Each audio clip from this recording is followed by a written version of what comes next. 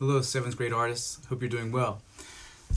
Not that long ago, I had done a vote for our assignments, and I was pleasantly surprised at how many kids really liked the variety of assignments. But one that stood out that was surprising to me was this Crayola redesign that we did. And uh, in the course of seventh and eighth grade, I like to try to diversify the type of assignments that we have with materials, subject matter, and sometimes not just make it fine arts based, but more graphic design or logo based and that's what this project is. Um, maybe some of the first materials you ever used were from this Pennsylvania company, Crayola.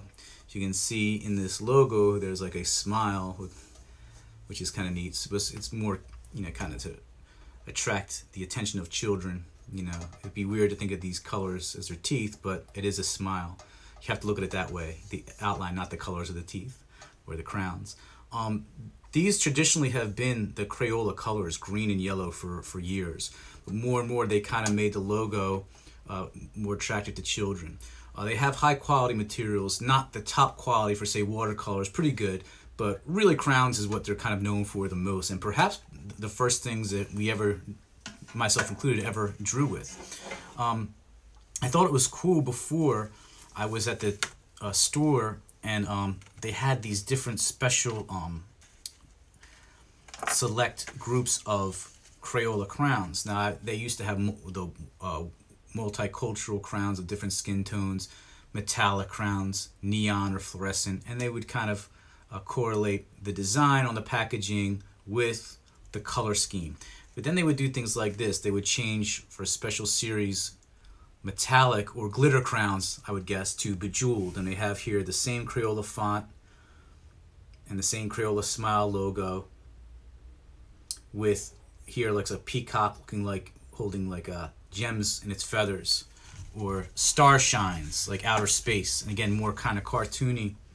Um, and the color scheme representing the theme that's there pearl swirl. I didn't even no i even had this one. I guess these kind of like the metallic ones but very colorful.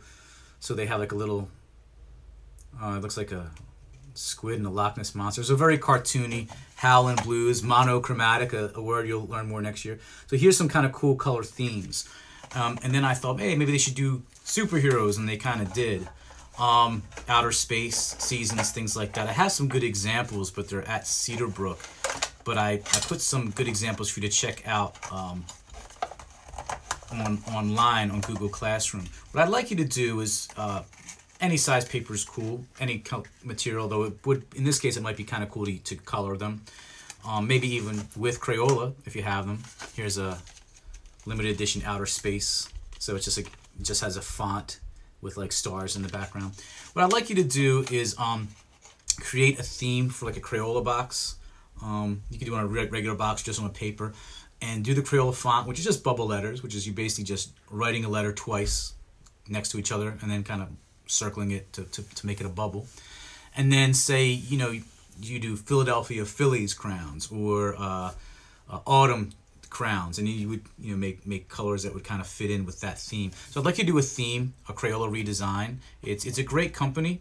Uh, so it's again it's it's local to pennsylvania. But students really like the idea of taking a, a an existing design packaging and kind of modifying it or personalizing it into their own interests or color scheme or, or, or theme. And it's also a cool way to kind of uh, get involved with like your own interests, things like that. So if you like music or sports or the Star Wars or retro video games or whatever, you know, you make like some kind of a, a design for, for the packaging and then a color scheme that would fit, you know.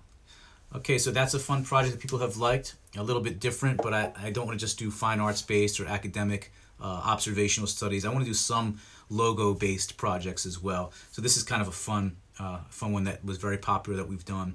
Used to be eighth grade and now we're doing for seventh grade. So have fun with that, and you can just show me progress as, as you uh, as you work along, or just uh, show me the finished project when you're done. Okay. All right. Thank you.